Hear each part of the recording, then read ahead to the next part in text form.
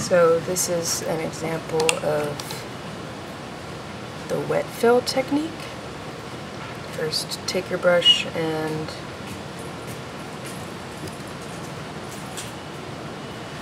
fill it relatively full of water. But not so much that you can't control it. Choose the section you want to fill and flood with water. You can see the water moving into the etched lines. That's good.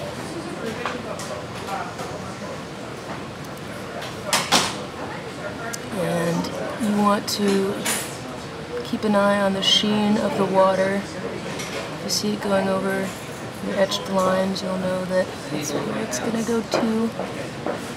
Just go ahead and fill it in.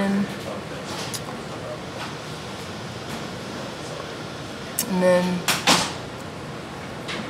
you want to give it a second to soak into the paper. You want it to go from a high gloss to a sort of textured sheen before you add your paint. So fill your brush with either prepared